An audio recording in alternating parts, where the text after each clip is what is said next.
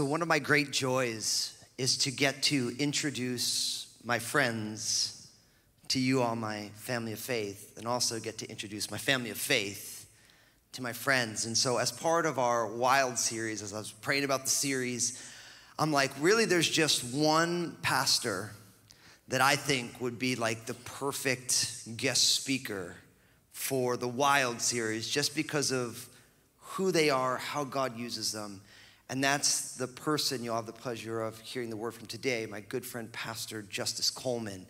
Pastor Justice and his wife, Maria, founded 12 years ago a great church in LA called Freedom Church. And God is doing just such a great and unique work through this couple and through this church. One of the reasons that I find Justice to be so fun is because like Justice is one of those crazy guys where it's like you know he uh, he's uh, gets uh, wins championships rolling Brazilian jiu jitsu. You see him bombing on a mountain bike. Uh, down things nobody should be on a bike doing, you know, and uh, and just got they have three beautiful kids and just a great, great, great friend of mine. And so I've been trying to get him here for a little while. We finally were able to work it out for today. So, because we love to appreciate the men and women who bring the word of God to us here at Crossroads, let's all rise to our feet. Let's give Pastor Justice Coleman the loudest Crossroads welcome.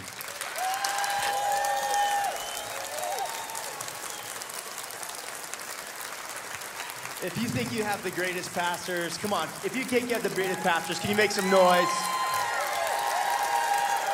Uh, Pastor Daniel and Lynn are incredible. It's so great to finally be here. Please have a seat. My name is Justice, and uh, man, I've been friends with Daniel for 10 years, and to finally get to be with you is, is absolutely my joy. Um, turn to Psalm 23, and we're going to continue where Pastor Daniel took off, uh, left off last week.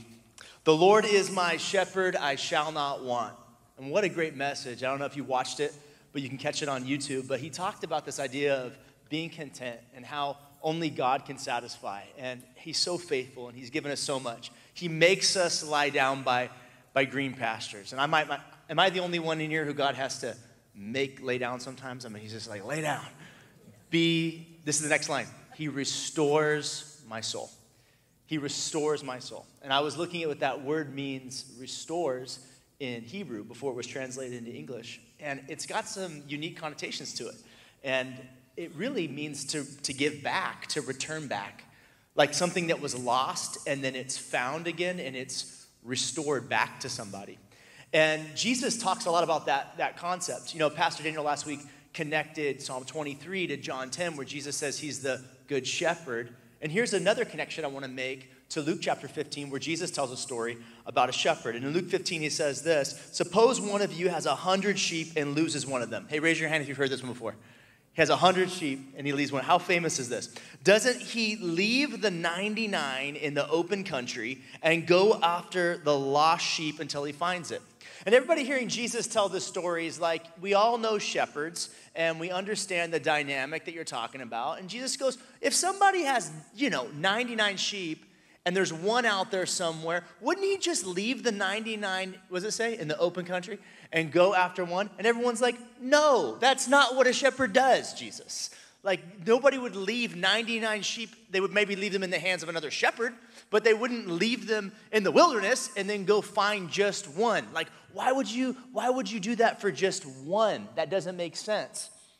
And he tells a story about how when the shepherd restores the lost sheep, he says, and when he finds it, he joyfully puts it on his shoulders and goes home. Then he calls his friends and his neighbors together and says, Rejoice with me, I found my lost sheep. I tell you that in the same way, there'll be more rejoicing in heaven over one sinner who repents than over 99 righteous persons who do not need to repent. By the way, can we just give it up for the 45, I think, people who got baptized last week? How incredible was last week? A life that was lost, right, is now being restored back to the family of God through Jesus. And that's exactly what you celebrated last week this restoration. He restores my soul. There's a shepherd who restores the sheep back to the flock. He brings it back, and then he throws a party for the sheep because he's so excited about it. Now, Jesus tells another parable right after that. And just to let you know, uh, in the first century, in the time of Jesus, he was a rabbi and rabbis told parables. But when they would tell multiple parables back to back, don't you know they're just a rabbi's drilling home one major point.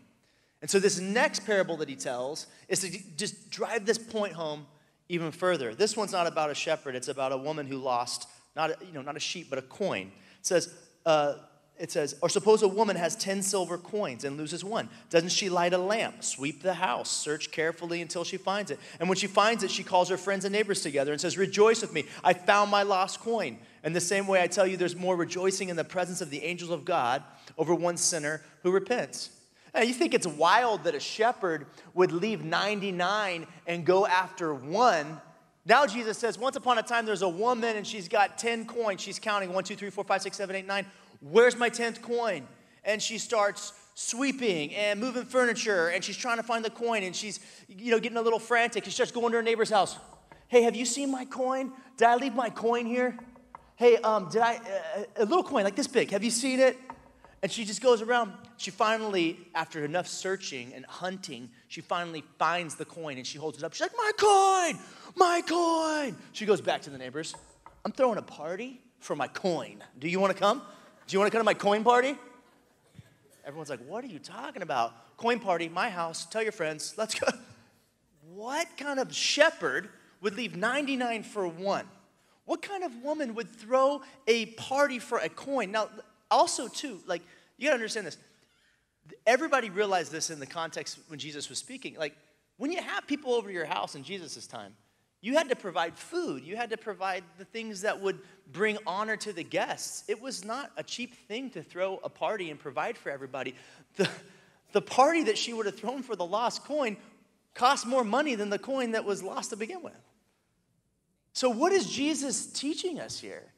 He's teaching us that in the kingdom of God, when something is restored, that has more value than maybe we understand. There's something about something being lost and returned that Jesus says, I want you to see God's heart. It's like a shepherd who'd leave 99 for one. It's like this woman who would, who would throw a, a party that was more expensive than the coin that she lost just to celebrate the coin. And then he throws this last parable down and this really drives home the point. He's illuminating something here. It's says progression, and he hits this third story. Maybe you've heard this one before as well. There was a man who had two sons. The younger one said to his father, Father, give me my share of the estate. You guys heard this one before? Once upon a time, he says there was a father with how many sons? Two sons, an older son and a younger son, right? and the younger son was kind of a punk. Any older brothers in the house? No, what I'm talking about. The younger, the younger one goes to his dad and he says, Dad, I have this idea, okay? Don't shut it down. Um, just think about this. You're wealthy, you got a lot of stuff, you got a lot of real estate, you know, you're doing pretty well. What if we just pretend like you're already dead? I take my inheritance and I, I leave and I go do my own thing and I just spend it on what I want and I just set up my own life. And once again, everybody hearing this story is like, you told us about this wild shepherd and this wild person losing a coin. Now you're gonna tell us about this wild dad They're like, what kind of dad would do this? What kind of dad would let his son rip him off like that, rip off his older brother, because he would have gotten even more inheritance in that culture. He would have gotten two thirds. What kind of dad would let would endure the shame of all, everybody in the community seeing him do this, right? His son. What kind of what kind of dad would do that? Yeah, I don't know if you're picking up what Jesus is laying down, but there's also another way for a lost thing to be returned. And that is when something is lost and they don't realize that they're lost. You know, this, this, this sheep that was lost, maybe it just wandered off. You know, this coin that was lost, maybe it was just dropped somewhere by accident. But you could also get lost by running away. And I did that. I got lost by running away when I was like three years old. Uh, anybody ever run away from home, or am I the only one? I just want to make sure. Is this a safe place? Crossroads, is this a safe place? Okay. I remember I was three. I'm going to tell you the most embarrassing story ever. I was three years old, and uh, we, before we moved to Los Angeles, we lived in Texas. And Texas, everything's bigger. And this backyard that we had on the other side of our backyard was like the wild, right? It was like the wilderness. It, there was like mountains and trees, and there was um, there was like a reservoir, I think, back there. I don't remember. But there was like a chain link fence that connected our backyard to the wild. And I, I, I, I, one day I was three, and I just said, you know what? I can do better than this. And I left. And I just went under the fence and I went out into the wild. And I was exploring, and I was, you know, um, and then the sun started going down. And then it got cold. And then I got scared. And I remember a lot of details because it was very traumatic. And I remember, I remember a search helicopter in the sky. Like, I remember that. Um, I remember what I was wearing. I was wearing these little overalls, these little OshKosh B'gosh overalls.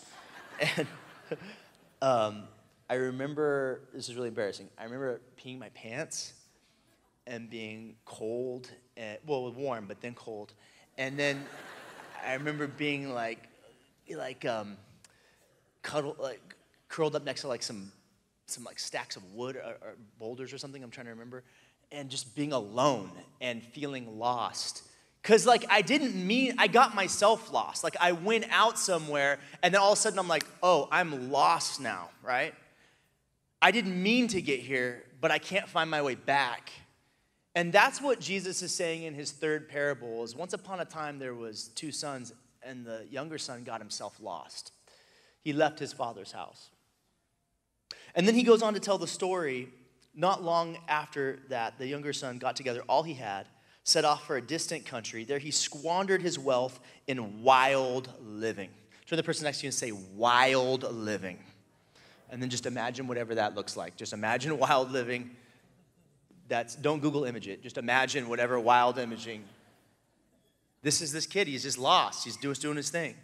After he had spent everything, there was a severe famine in that whole country, and he began to be in need. So he went out and he hired himself to a citizen of that country who sent him into his field to feed pigs. And at that point, when Jesus was telling the story, you know, people just started booing, right? Somebody got up and walked out. Church Online clicked out. It's just like, listen, pigs You've gone too far, Jesus. This is way too wild of a story. We Jews don't mess with pigs. Pigs are off limits. They're not kosher. We don't eat them. We don't touch them. They're unclean. They make us unclean. What's your point? Jesus' point was is that this younger son had traveled really far from home. And it's not just that he had traveled from his father's house, but he highlighted that he's with pigs, meaning he had traveled from his father's faith. He's way far gone. He'd forsaken what he knew about God, he had forsaken the way he was raised. He had gone as far away as Jesus could describe. And that's when he realized he was lost. And he gets hungry because of this famine and he's out of money. And so there's this guy who works in, you know, maybe similar to his dad, but in that country, you know, a big house, an estate, you know, real estate, and, and, and, and, and he had servants. And he goes, maybe I could, maybe I could work for this guy. And he finds himself with pigs and he's covered in pig stuff and he's gross and he's nasty and his stomach's rumbling and he like tries to eat some of the pig food and he just that's called rock bottom. Anybody ever been rock bottom? Man i've been rock bottom and here, here he is he's at rock bottom so he, he says this to himself he, he says he says when he came to his senses that's what happens when you're rock bottom right when he came to his senses, he said, How many of my father's hired servants have food to spare? And here I am starving to death. I'll set out and go back to my father, and I'll say to him, Father, I've sinned against heaven and against you. I'm no longer worthy to be called your son. Make me like one of your hired servants. And this really hits home for me, guys, because, um, you know, I was raised in a good family and I went to church as a kid. But um, I don't know your story, but for me, I, I walked away from God and uh, I ran away from God. And I got in a lot of trouble and I made a lot of mistakes and I did a lot of things that I regret. And I did things that hurt myself and I did things that hurt other people. And um, yeah, I'm, we all have a story in this room, right? That's what I love about, about Crossroads. This is a church where there's, come on, no perfect people allowed. All of us are a work in progress, amen? All of us have something that's going on in our life. And we're not trying to hide it, we're just not bragging about it, right? and, and, and, I, you know, I was covered in pig junk, you know what I mean? And I had, I, you know, I was nasty, and I came, I came to my senses the way this son did. And I remember the prayer. I was 20 years old. I got on my knees, and I just said to God this prayer. I said, God, the life that you, this is verbatim what I prayed. I remember it. I said, God, the life you've given me, I've butchered it. I've done a terrible job. Um, obviously, I'm, I'm, I'm awful at this. So if you'll take me back, if you'll take my life, you can do whatever you want with it. And I said, I will just serve you. I expect nothing. I will just serve you. That's all I said to him, right? And uh, for those of us that have been following Jesus longer than 10 minutes, don't you know he has so much more in store for you than just being a servant? He wants you to be in his family. He wants to make you his son or his daughter. He wants your life not to be wasted. He has a purpose that he's inviting you into. He restores, come on, our soul. That's what he does. He's a faithful God. Has he been good to you? And he he had so much for me. Everything that I have today, you know, um, my, my, my, wife and my kids and our church and all the peace and all the, all, my soul, it's because of a God who loves me and he took me back. And I, I, I will serve him to the day I die. I, I love him so much. I'm so grateful for what he's done. I can remember it like it was yesterday when I came to my senses. You know, at the end of this message today, I'm going to give people the opportunity to come to their senses, you know, to give their life to Jesus. And um, because I just remember it like it was yesterday. So he takes the speech and he says, I will go home, dad. I will go to my dad and I will, I will be a servant instead of being a son. And he makes a speech and he tries to clean himself off and he, and he, and he heads home. And what's the dad doing this whole time while he's gone? It says, it says, but while he was still a long way off, verse 20, his father saw him coming. I, I think this is the best line in the whole Bible. I think this is, this is my favorite line in the whole Bible while he was still a long way off, his father saw him coming. Picture this like wealthy nobleman who's important, who's got places he's supposed to be. He's got real estate transaction he's supposed to be doing. He's got businesses he's running.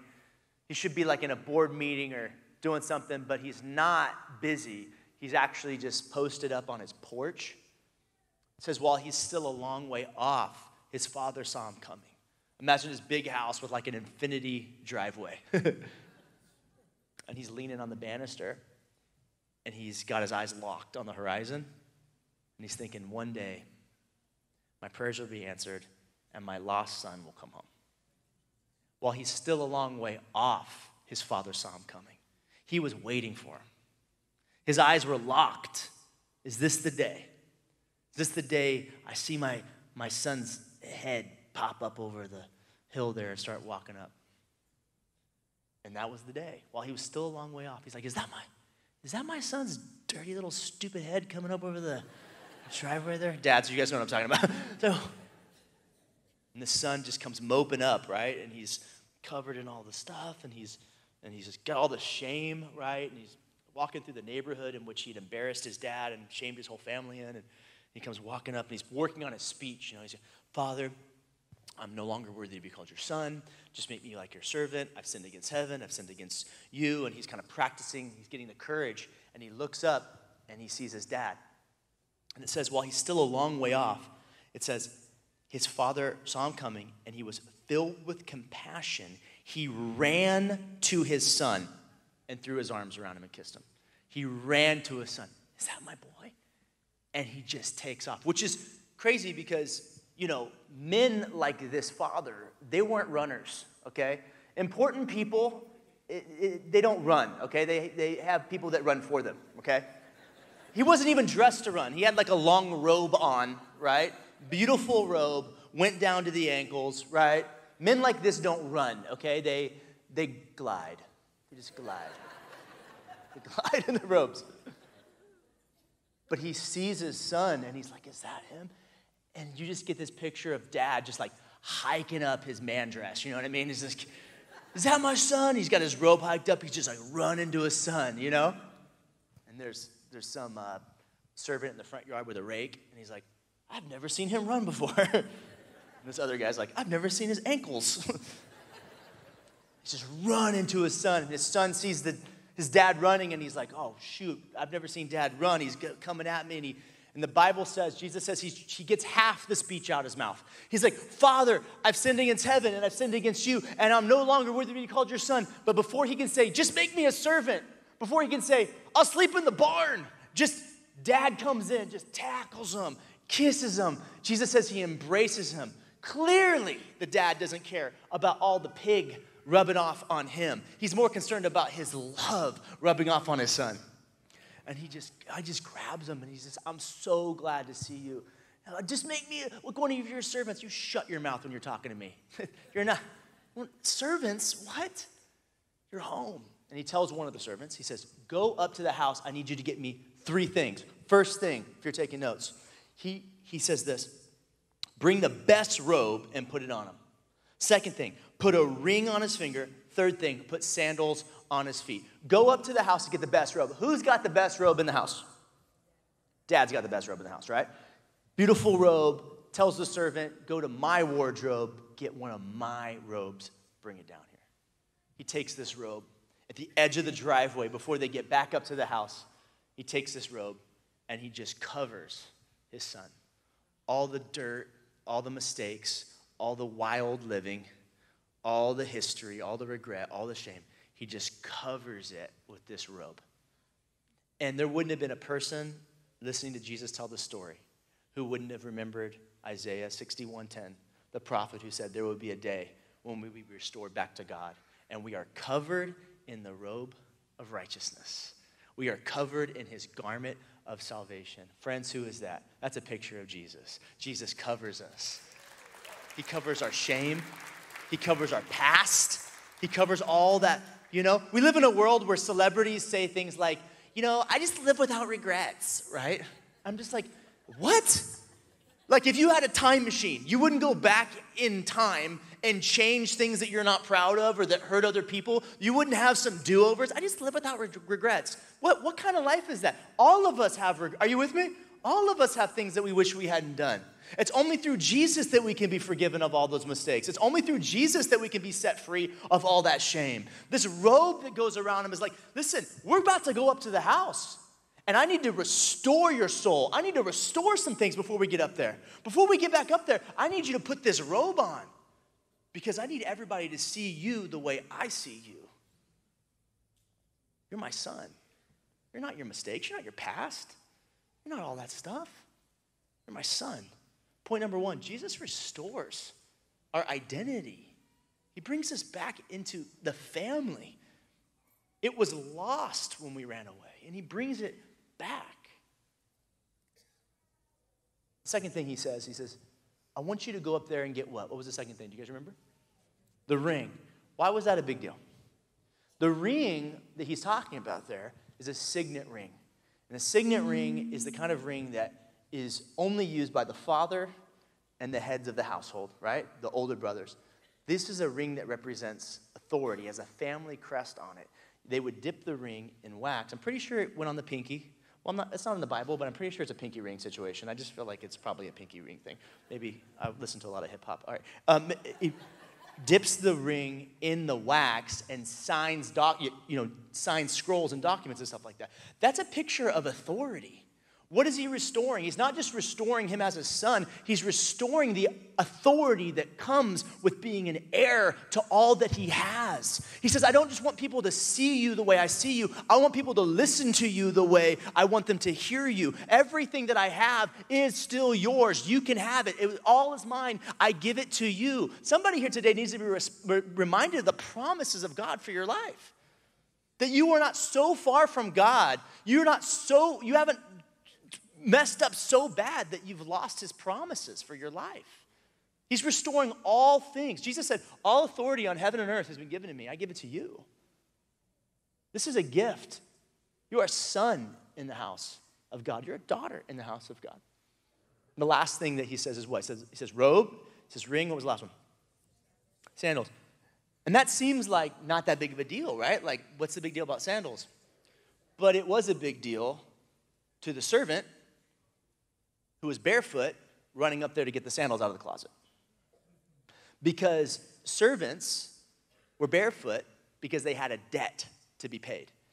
If you were a guest, you wore sandals at the house. You take them off when you came in. If you were a family member, you wore sandals. But if you were on the property and you were barefoot, it means that you worked there because you had a debt to be paid off. You were an indentured servant. When the father says, Put sandals on my boy's feet, he's saying there was a debt, but it's been paid. I've canceled it. Come on, who the son sets free is free indeed. Where the Spirit of the Lord is, come on, there is freedom. It's like, put, man, put a robe on my boy, put a ring on his finger, put sandals on his feet. Look, this is my son. I'm restoring him back into the family. I'm restoring his freedom. God, he, some of you, somebody might just need to be reminded that all of your debt's been paid through Christ. That his cross, nothing that you've done is too big for the cross. Nothing needs to be added to the cross. Everything is fulfilled through the person and the work of Jesus. All that you need is in him. You don't need to throw yourself a pity party. You don't need to guilt trip yourself. You don't need to try to earn your right back into the family. All of that was done through everything that Jesus did for you. It's a gift. And you have that sonship and authority and freedom in Christ. Am I talking to any sinners today? I feel like, is there sinners here? Do you have any sinners? Don't cheer for being a sinner, but are there sinners in here? Jeez, I've been a sinner for a long time. Anybody else? Man, I can't I, actually, I can't remember the first time I've sinned. I remember the first time I've sinned. I was 18 months old. 18 months old. My brother had a son, okay? I'm going to go ahead and share this story, Pastor Daniel. It's a little embarrassing, but my brother had a son, and he moved in with us, okay? And so I was kind of like the center of attention until my until I became an uncle at 18 months old, right? And I remember this little twerp just siphoning off all the attention in the family, right? Like I used to be a big deal, now he's a big deal. And everyone's like, oh, look at this little guy, right? Uh, I can't believe I'm sharing this story. Um, one night, I was 18 months old, crawled into my brother's room where his son was sleeping, crawled up into the crib. I bit that fool on the head. That's what I did. I haven't done it since. I'm in recovery. I've never bitten another child. But we all have a past. Who taught me to be jealous at 18 months old? Who taught me to be violent at 18 months old? Who taught me this stuff? Dude, I was born in a broken world. I have been shaped by brokenness and hurt. I have lived in a world that is falling apart. Anybody else? And if it wasn't for Jesus and his work and his redemption, would I even have a shot at being able to see clearly the grace of God? God saved me from myself. And this moment where he comes to his senses and he comes back and he gets this, this robe and he gets this ring and he gets these sandals, crossroads, that's called grace. It's called mercy.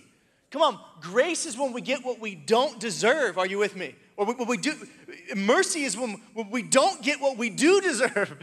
And this is a picture of God saying, hey, listen, this is not something that you couldn't get here by yourself. But what's interesting about this story is remember, it's the third story. The first one was about a shepherd that left everything and hunted and, and, and, and found and rescued the sheep that was lost. The second one was about a woman who lost a coin and tore up her house and went to her neighbors and searched until she found the coin. So when Jesus is telling the third parable, don't you know everyone's like, well, how does this tie into the first one? Um, did, and didn't you say there was two sons? Because there is a second son. There's an older brother, right? And how does the older brother feel when little Johnny comes home? It's like, oh, awesome. That guy who uh, ripped off part of my inheritance and took off with it, spent it on wild living. Awesome. Hope he remembers our secret handshake. Glad to see you. What is he?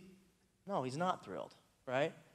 And the dad is like heartbroken because he wants the son, older son, to see his heart. And it says that he, he, he, meanwhile, the older son was in the field. When he came near the house, he heard music and dancing, and he called to one of the servants and asked, What's going on here?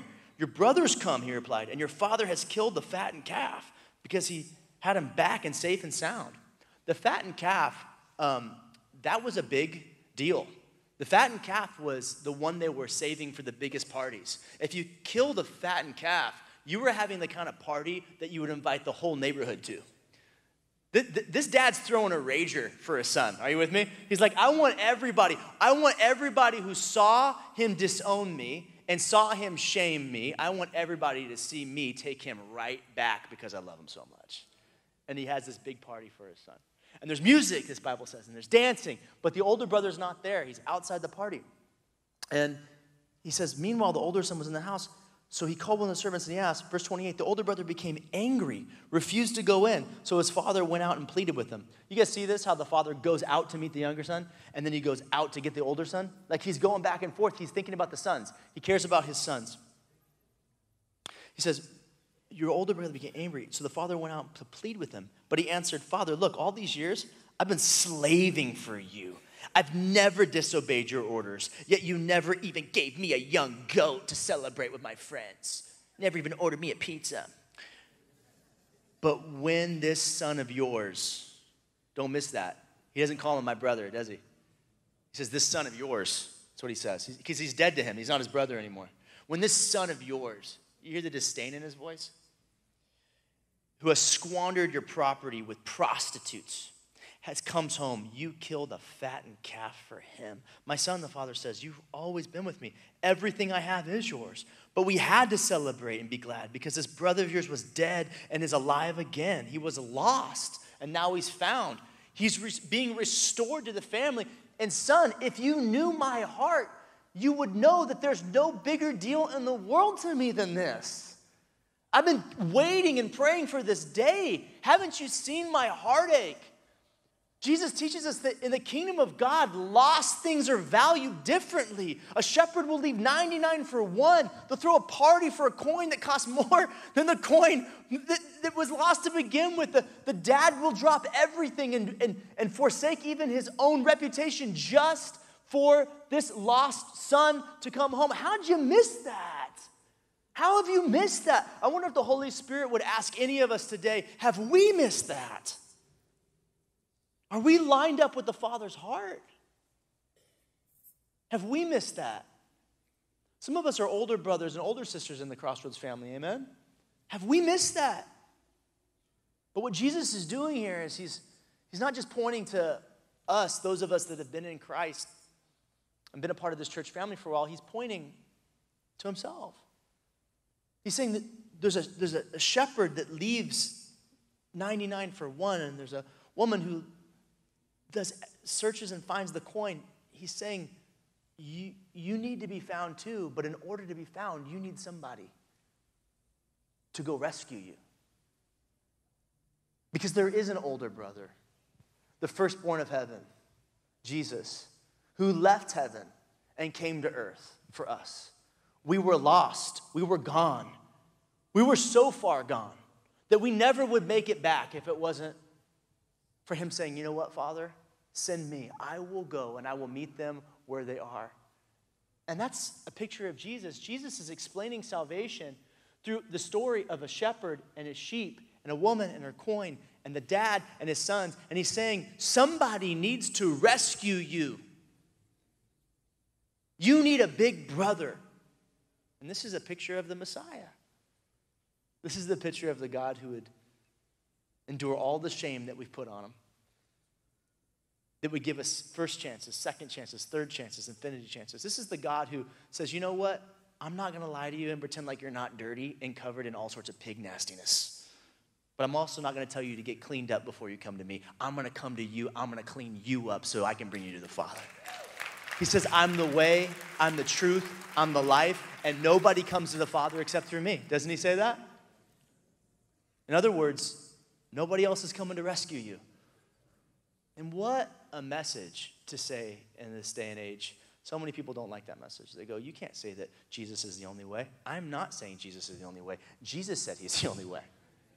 He said, I am the way. You don't know where to go? Jesus is the way.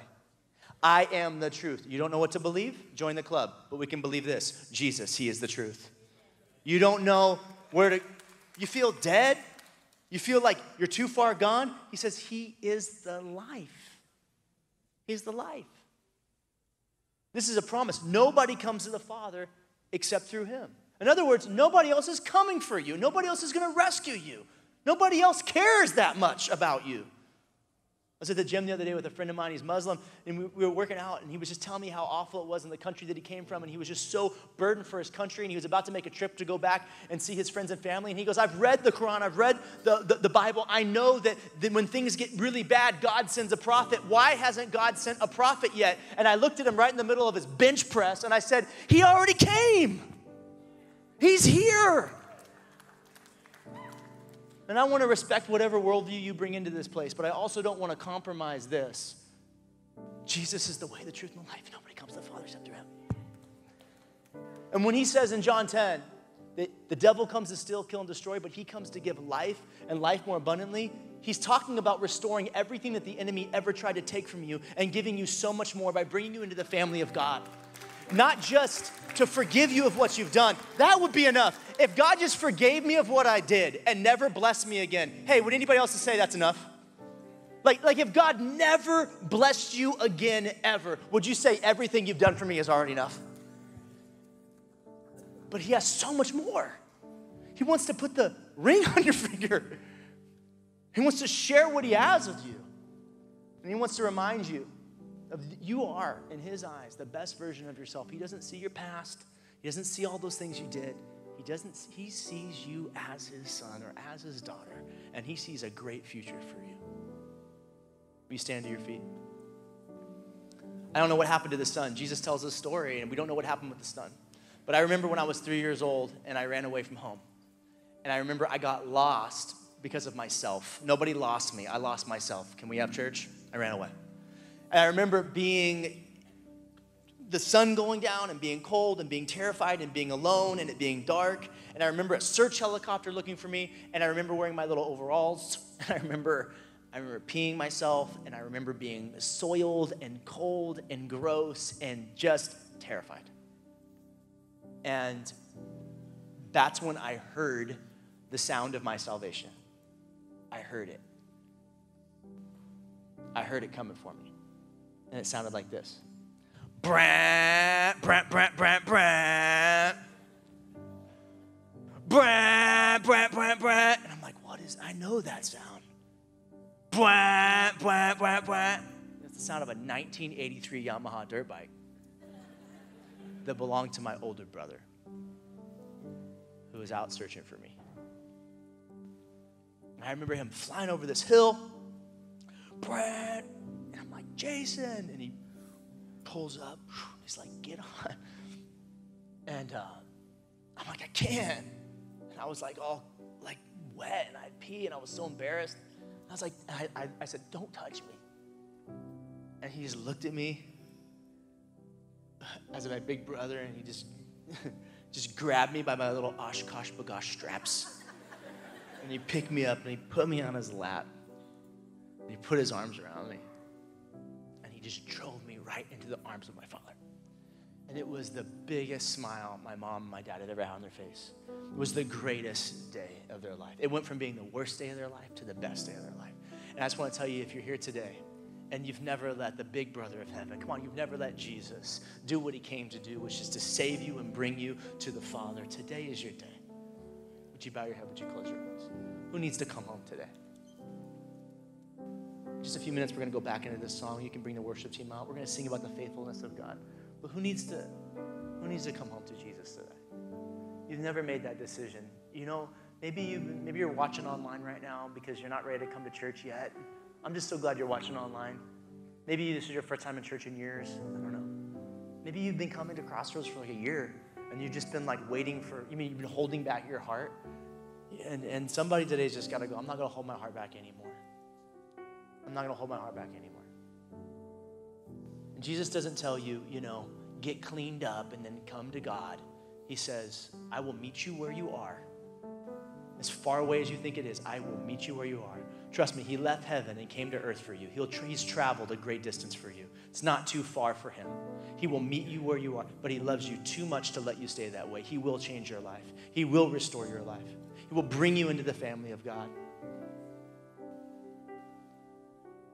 He came to this earth, lived the life of a human being, perfect and sinless, 100% God and 100% human, perfect and sinless. He died on the cross for us because somebody needs to answer for the bad things that we've done. And he said, I will do that for you. I'll die the death that you deserve. And then he rose again, declaring that he truly is who exactly who he says he is. He's God that resurrection life is found in him, that everything he said about himself is true, and that you have a future. And if you're ready to put your faith in Jesus, today and say yes to Him? Would you have the courage with every eye closed and every head bowed to just raise your hand wherever you're at so I can just see you? Just raise your hand. Just the courage to raise your hand and say, That's me. I want to give my life to Jesus. I see hands going up around the room, looking this way. Raise your hand. I see your hand going up. Anybody else? I want to give my life to Jesus today. I see your hand and your hand and your hand. Anybody else in the back? I see your hand. Raise your hand. That's me. I'm giving my life. I'm saying yes to Jesus today. I don't want to hold my heart back anymore. I don't want to hold my heart back anymore. I'm coming home. I'm coming home. Awesome. You put your hand down for a second. I want to do one more invitation. You know, maybe you're compelled, if you guys would open your eyes, maybe if you're compelled to be more like Jesus and say, you know what, when you were talking about the older brother and his responsibility, I feel like I've drifted from my older brother responsibility. I feel like there's people in my life that are lost, you know, neighbors and coworkers and friends and family. And you know what? I, I'm not, I'm not, I'm not being the older brother like Jesus that would take responsibility for the Father's heart and go find them and seek them. I just want to know if there's anybody on your mind right now that you're thinking about. If you have somebody on your mind that's far from God, would you just lift a hand to them? Just somebody who's far from God, somebody who's really distant, Maybe somebody that you gave up on on accident. You didn't mean to, but you just stopped praying for them. Somebody in your life that you know. That's why God put them in your life because they need to hear the gospel from you. They need to know God's love from you. Let's just pray for that person. Keep your hand up for them. Lord, we just pray for every person in our life that is far from you. Lord, would you help us be like you, Jesus? You said you came to seek and to save those who are lost. Lord, would you put that passion in us again? Lord, would you just line our hearts up with you, Father? Because if that's so near and dear to your heart, that's what we want on our heart. If that's what breaks your heart, that's what we want to break our heart. So, Lord, we lift them up for you right now, and we just ask that you would help us share the gospel and share your love with them. In Jesus' name.